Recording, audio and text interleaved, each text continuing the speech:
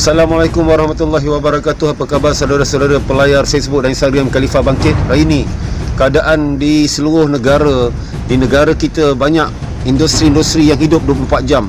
Kedai-kedai stesen 24 jam Kilang 24 jam, stesen minyak 24 jam.